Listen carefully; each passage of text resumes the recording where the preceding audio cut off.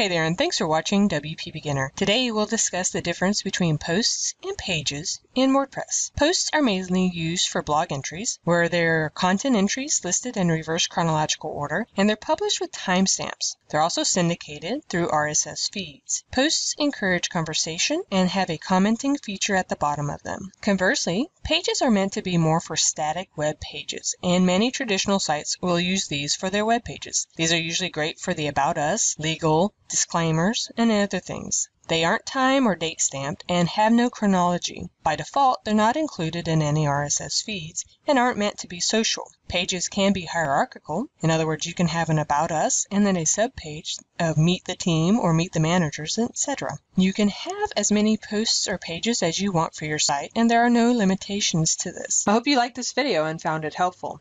If you did, click on the like button below and leave us a comment. And if you want to receive more helpful videos, don't forget to subscribe to our channel and check out WPBeginner.com for more useful information on WordPress.